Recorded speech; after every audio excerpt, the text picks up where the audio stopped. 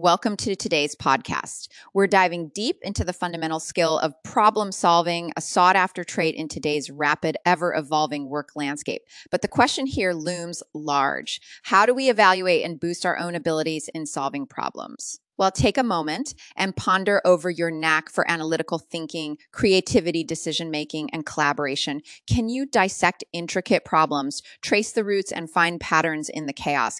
Can you hatch innovative ideas, make pressure resistant decisions, and harmonize with teammates for common goals? Fun, isn't it? Now, let's say your problem solving game isn't on point yet.